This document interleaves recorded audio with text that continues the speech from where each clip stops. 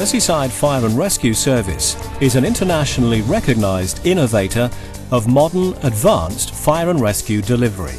From leading edge communication systems, data management, and technically enhanced response capabilities, to special rescue innovations and comprehensive community partnerships, Merseyside are always at the forefront of change. As an organisation, therefore, MFRS are committed not only to continual skills and technology development for its teams, but also to a deeper understanding of the environment in which they have to operate. When you think of dynamic firefighting, you tend to think of water.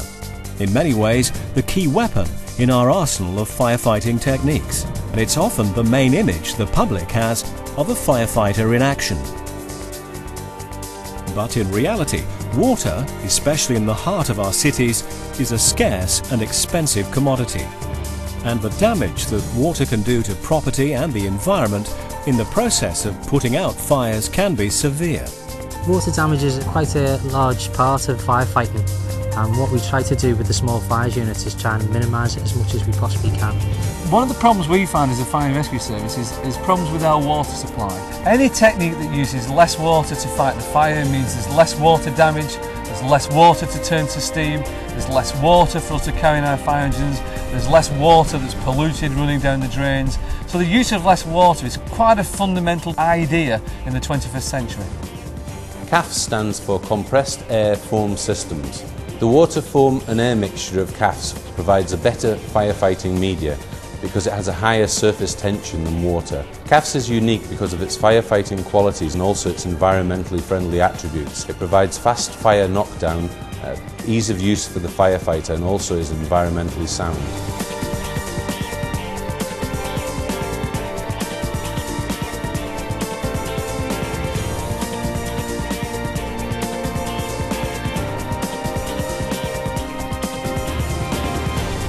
The compressed air foam system, CAFS, has greater fire suppressant qualities than water. Compressed air, added to a water foam mixture, gives the unit more projection energy, and the mixture can smother a fire more effectively than foam.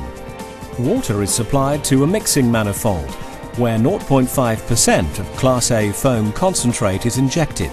Compressed air is then added to the mixture ready to be discharged through a standard straight bore branch nozzle. The resulting fire knockdown power is evident.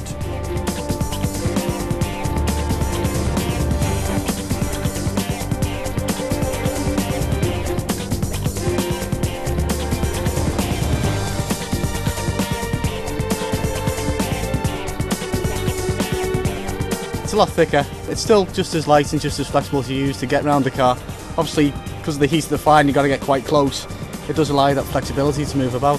The wet and dry range of CAFS is used for fighting different types of fire. For example, dry foam uh, would be used to adhere to buildings to, to prevent burning of adjacent buildings, whereas wet foam would be used for interior attack purposes. It's more efficient because there's less water, so therefore you can see better. And the way CAFS extinguishes the fire uh, drops the temperature in the room very, very quickly.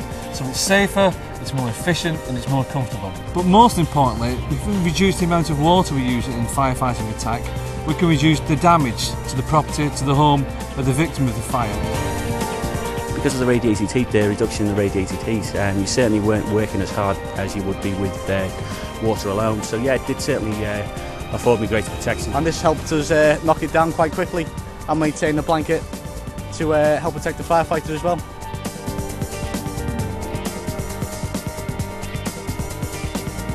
The compressed air foam system uses a modern technology to develop a system of firefighting that reduces the amount of water you actually need, it reduces the water damage to the property.